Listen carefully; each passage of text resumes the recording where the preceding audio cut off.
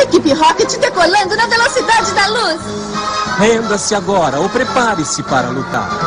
Miau, é isso aí! A equipe Rocket. Finge que é uma mulherzinha em saia! Que engraçadinha. Quem te contou isso, professora? Sabemos o que estão procurando. Imaginamos que apareceriam atrás do Onix de cristal cedo ou tarde. E então montamos umas armadilhas para vocês. Vamos agarrar o Onix de cristal.